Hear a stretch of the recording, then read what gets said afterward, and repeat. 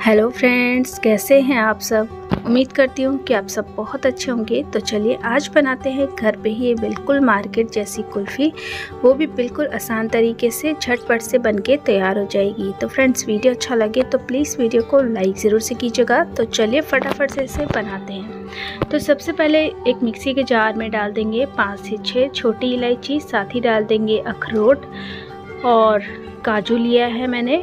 बादाम लिए हैं, साथ ही पिस्ता ले लिए हैं। तो ड्राई फ्रूट्स आप अपने हिसाब से कोई भी ले सकते हैं और कम ज़्यादा भी कर सकते हैं। अब यहाँ पे मैंने चीनी डाल दी है इसमें, मीठे के हिसाब से अपने, और इसको हमने पीस लेना है।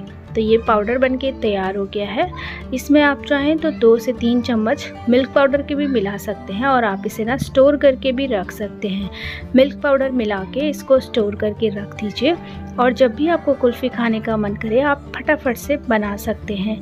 तो यहाँ पे हमारा ये पाउडर तो रेडी हो गया है। अब फटाफट से आगे की तैयारी करेंगे। तो यहाँ पे मैंने लिया है अमूल वाली फ्रेश क्रीम ले ली है और इसी के साथ एक चम्मच से मैंने मलाई डाल दी है इसमें। इसको हमने अच्छे से फेंट लेना है। तो यहाँ पे अच्छे से फेंटने के बाद इसमें हम ये पाउडर ऐड कर देंगे। बहुत ही आसान तरीके से, बिल्कुल मार्केट वाली कुल्फ़ी बन के हमारी तैयार होती है। वो भी मिनटों में बन के तैयार हो जाती है। बिल्कुल भी टाइम नहीं लगता है इसमें। बहुत ही आसान है, इसे आप एक बार ज़रूर से बना के ट्राई कीजिएगा। सभी को ये बहुत पसंद आएगी। तो यहाँ पे देखिए, मैंने एक बार थोड़ा सा मिक्स किया, उसके बाद बाकी का पाउडर भी इसमें ऐड कर दिया है। अच्छे से इसको मिला लेना है। अभी हम क्या करते हैं थोड़ा सा इसमें ना दूध डाल देते हैं। बहुत ज़्यादा ये गाढ़ा हो रहा है तो थोड़ा सा मैं इसमें दूध डाल रही हूँ। दूध उबला हुआ है और ठंडा है। तो इसको फिर से एक बार चलाएँगे। और अभी हमने इसको एक मिक्सी के जार में डाल के एक बार बस मिक्सी में घुमा लेना है। इससे क्या होगा? एकदम स्मूथ हो जाएगा ये बैटर एकदम स्मूथ हो जाएगा। बहुत ही बढ़िया सी कुल्फ़ी जम के तैयार होगी।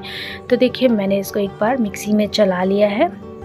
और मैं दिखाती हूँ कितना स्मूथ से इसका ये पेस्ट बन गया है। तो अब इसको हम सेट करने के लिए इस तरीके का कोई भी कटोरी या फिर छोटी छोटी इस तरीके की मटकी हो, कोई भी बर्तन आपके पास हो तो आप उसमें इसको डाल दीजिए। इस तरीके से मैंने छोटी छोटी सी ये मटकियाँ ले ली हैं और मैं इसमें डाल दे रही हूँ इसको।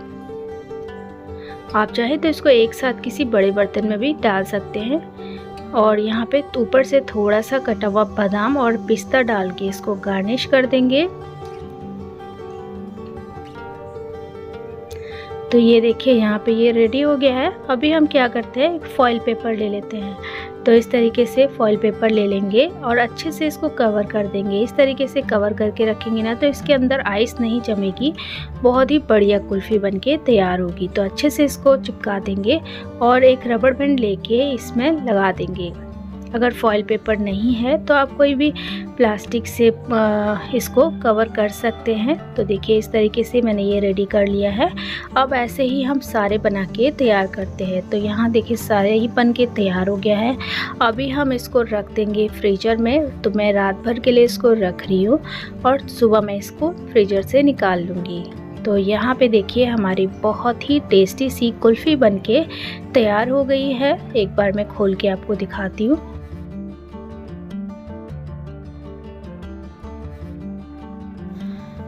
तो ये देखिए, हमारी बहुत ही टेस्टी सी कुल्फ़ी बनके तैयार हो गई है। वो भी बिना किसी झंझट के और इसको ना आप पाँच से सात मिनट में बना के तैयार कर सकते हैं। बिल्कुल भी टाइम नहीं लगता है बनाने में और खाने में तो ये बहुत टेस्टी लगती है। एकदम क्रीमी, बहुत ही ज़्यादा टेस्टी बन के तैयार होती है।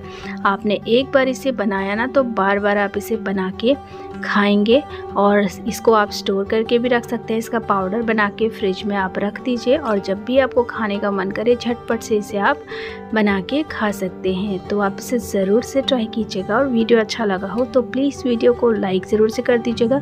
चैनल पे आप नए हैं तो चैनल को सब्सक्राइब करना बिल्कुल मत भूलिएगा और साथ के साथ रेसिपी को भी ज़रूर से शेयर कीजिएगा। तो चलिए फिर मिलते हैं किसी और रेसिपी के साथ। तब तक के लिए बाय और वीडियो देखने के लिए बहुत बहुत धन्यवाद।